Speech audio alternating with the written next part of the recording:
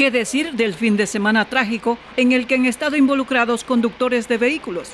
El director de la Escuela de Conductores Profesionales de Macas lamentó que estas cosas vayan sucediendo. En verdad, todos estamos tristes, consternados, preocupados por estos acontecimientos de este fin de semana, tanto en Huambi, en la ciudad de Sucúa, aquí en Macas, en la ciudad de Palora. Y bueno, hemos analizado, hemos conversado y no encontramos, digamos, la fórmula que nos permita cambiar esta situación. Mi criterio personal es, bueno, primero solidarizarme con todos sus amigos, con toda esa gente, ¿no? Que ha sufrido hay gente inocente que no tenía por qué fallecer, por qué estar ahora en el hecho del dolor, pero así es la vida. Bueno, decirles de que yo pienso que aquí tenemos que unirnos todos, las autoridades de tránsito, las autoridades de elección popular, también los organismos que estamos relacionados con esta situación del tránsito, como es también las escuelas de conducción y todo lo demás. Digo las autoridades de tránsito porque yo pienso que tienen que analizar seriamente sobre esto de las frecuencias. Es un problema serio acá en nuestra provincia cuando vemos que dos, tres, hasta cuatro buses están al mismo tiempo saliendo, se encuentran en la carretera y están ahí corriendo por a veces por un pasajero.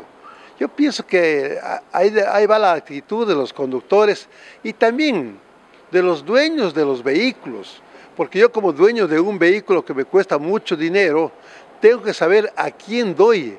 Debe ser a un conductor responsable y en las condiciones que, debe trabajar ese conductor porque también somos personas humanas y, creo que hacerse un viaje de ida y vuelta, así sean dos conductores, tiene que buscarse la fórmula para evitar, digamos, estos accidentes.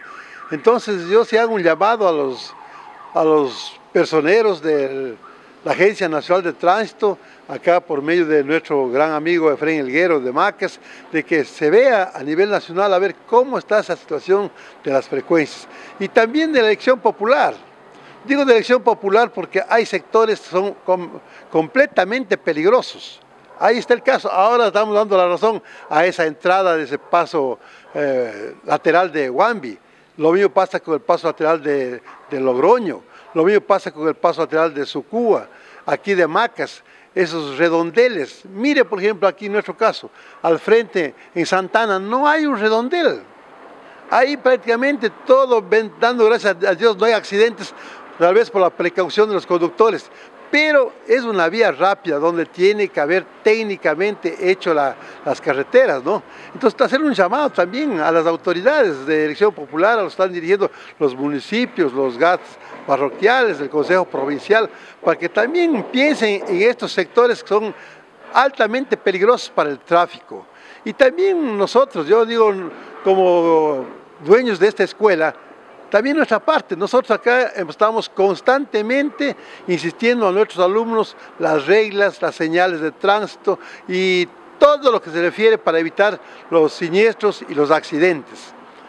Yo por esta razón he, he decidido, he pedido a todos mis compañeros docentes, sea de la teoría como de la práctica, que todos los días, antes de comenzar las clases, haya tres, cuatro, cinco minutos de reflexión sobre estos accidentes, sobre cómo debe portarse un conductor profesional.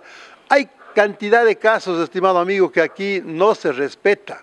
Hace días estuvimos en una campaña de educación vial. Por Dios, nadie utiliza el cinturón. Por Dios, no hay el respeto al semáforo. Todos los días vemos que el rojo ya dejó de, de ser algo donde hay que parar para pasar la esquina. Los peatones lo mismo, están cruzando por donde ellos quieren, no hay educación vial.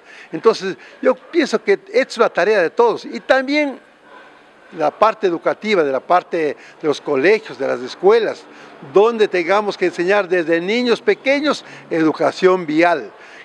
A nosotros nos cogió de viejitos aquí, el asfaltado, las reglas de tránsito, nos cogió de viejos.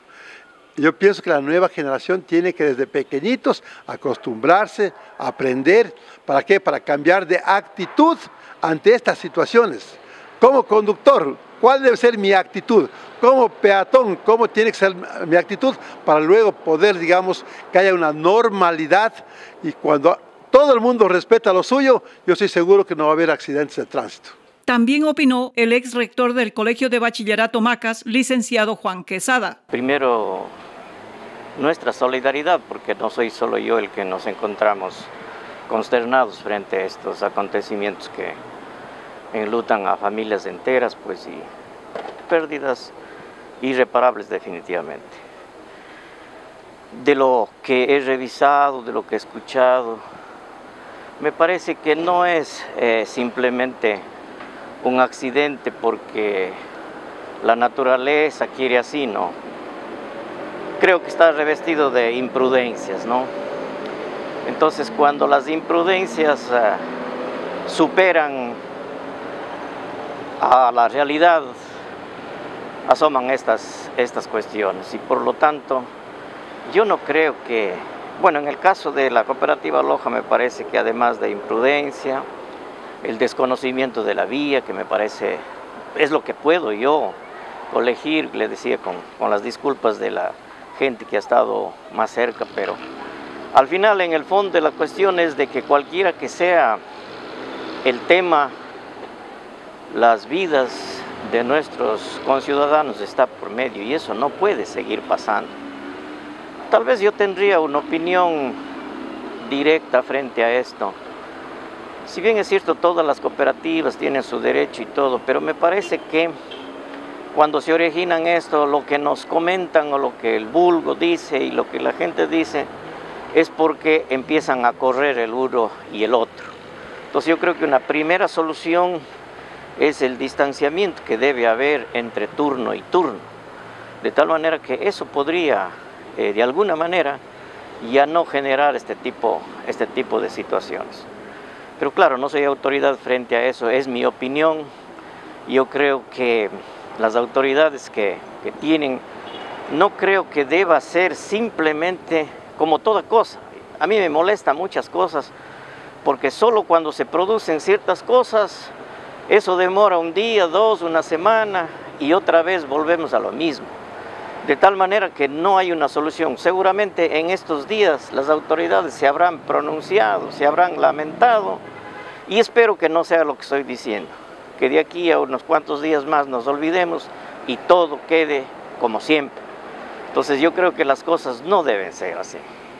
Yo pienso que la seguridad, un pasajero además, ¿qué hace? Él lo que quiere es transportarse, porque a veces también nosotros eh, descuidamos ciertas cosas. También al último nos subimos en el, en el bus apurados y todo lo demás, porque la vida tiene que continuar, pero eso no es un motivo ni una razón para que nuestra vida sea cortada, diría yo, sin, sin no, no previo aviso, porque lo bueno de la vida es que justamente la muerte no nos avisa, porque eso nos dice que hay que seguir viviendo y hay que seguir trajinando.